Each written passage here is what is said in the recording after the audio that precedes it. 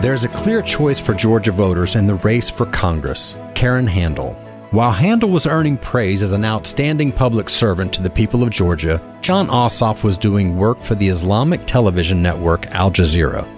While Karen Handel was honorably fighting to find a cure for breast cancer, Ossoff was working for Congressman Hank Johnson and his nonsense about Guam tipping over and capsizing and Karen Handel worked to grow small businesses and create jobs for Georgians at the Chamber of Commerce, while Jon Ossoff was spouting far left positions, including the disastrous Iranian nuclear arms deal and the failed Obamacare scheme.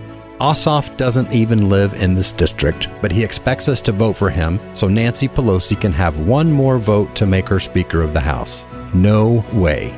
Instead, on June 20th, we must cast our votes for Karen Handel paid for and authorized by the Conservative Campaign Committee, not authorized by any candidate or candidates committee.